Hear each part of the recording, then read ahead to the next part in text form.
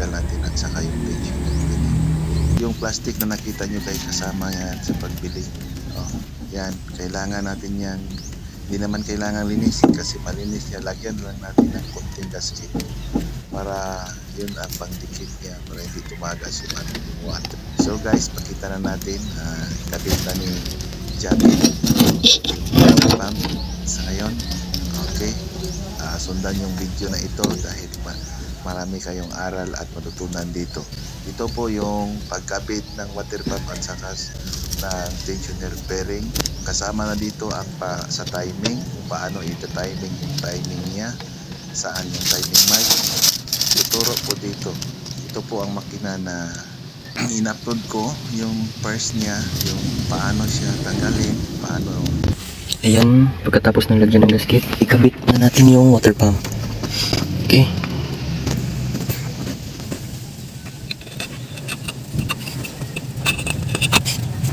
Ayan. Ito po yung mga tornilyo. Ayan, ikabit natin yung mga tornilyo. At 10mm tools. Higpitan.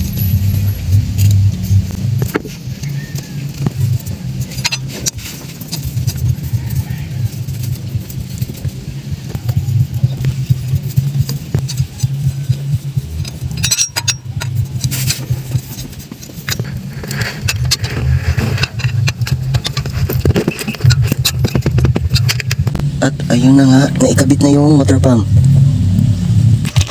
At palitan din natin ng tensioner bearing. Ito yung buksan ng tensioner bearing. Palitan natin, tanggalin ko. Tanggalin ko yung basket. Ito na yung mukha.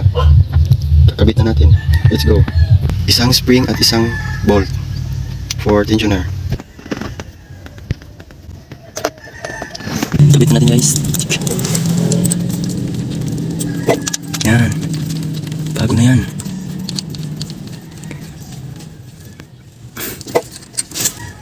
At next ay backplate. Backplate. Ito po yan guys. Dito po yan ilalagay. Ay. Okay. At apat na 10 mm na sakit range. Isa dalawa, tatlo, apat, 10 mm. Yan.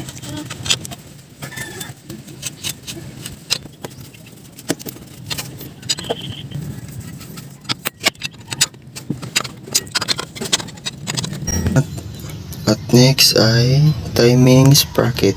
Ito na yung kakabit natin timing sprocket dito po yan guys. Dito.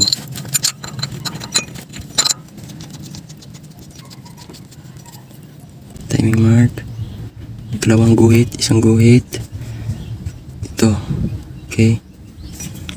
Sa crankshaft sprocket itong itong timing mark then dito.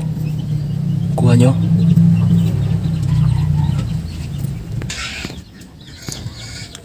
Okay na po yung timing. Okay na po yung timing. At next is timing belt. Okay, this is mark uh, arrow. Huwag niyong baliktarin. May arrow yan. Ah. Okay, kita yung arrow. Hmm. Ito yung estada niya. Yan. Yung arrow pa right side. Okay. At yan. Ikibit ko na yung belt dito. Next dito sa water pump. Crankshaft sprocket at tensioner bearing. Okay. At naikabit na guys. Next is this. Yan na guys kabit na yung timing cover next ito air blade niya air blade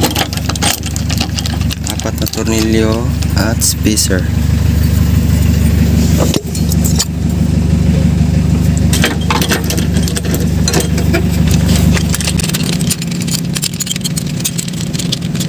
At ikan. Okay na. Next is water cooler or radiator. Ikan natin.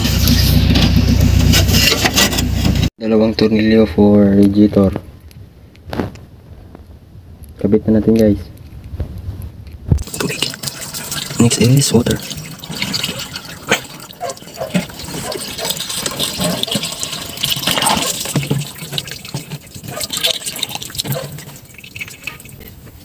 Puno na guys, puno na yung radiator.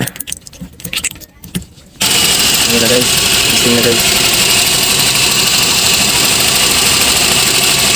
At ayun guys, okay na po. Okay na yung sasakyan. Ready for biyahe ulit.